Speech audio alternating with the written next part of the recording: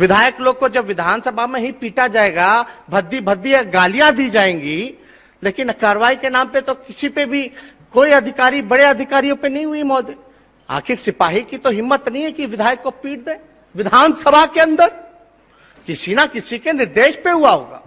सत्ता आती जाती रहती है, कल को फिर से ऐसा वातावरण होगा महोदय तो कल को कोई भी पुलिस वाला विधायक को गोली मार देगा, फिर कार्रवाई के नाम पे दो गो सिपाही को आप निलंबित कर दीजिएगा। अध्यक्ष महोदय, आपसे बड़ी उम्मीदें हैं, बड़ी आशाएँ हैं कि इस लोकतंत्र के मंदिर के मान सम्मान और मर्यादा बुनियाद को आप बचाने का काम करेंगे। हम सब लोगों को उम्मीद है।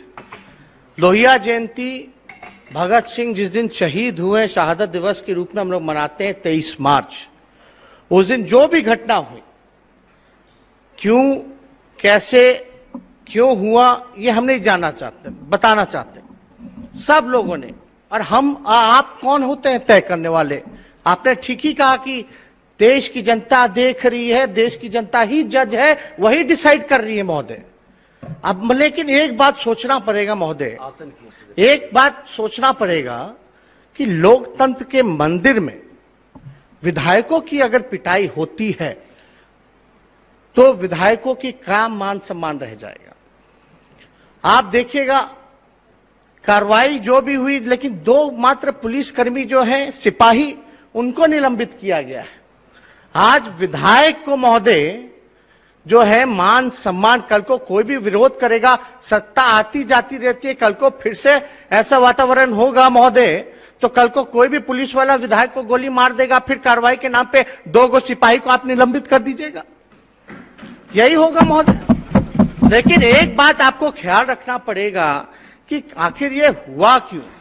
हम नहीं चाहते महोदय कि हम इस पर ज़्यादा विश्लेषण करें, लेकिन आप बहस अगर करा देते तो सारे सदन में जितने पार्टियाँ हैं ऑल पार्टी के लोग जो है, सबको टाइम अलॉट हो जाता, सब अपनी बात को रखते महोदय। और एक आपको भी मौका मिलता महोदय, जो दाग लगा है उस दाग को धोने का भी मौका मिलता। किसकी गलती है, क्यों हुई है, ये सारी बात जो है सामने पटल पे आ जाती महोदय ऑन रिकॉर्ड आ जाता। लेकिन कार्रवाई होती रही है, होता रहा है। कुछ लोग तो कुछ भी लोग कहते रहते हैं, लेकिन हमारा ये है। अब विधायक लोग का तो फंड भी ले लिया गया।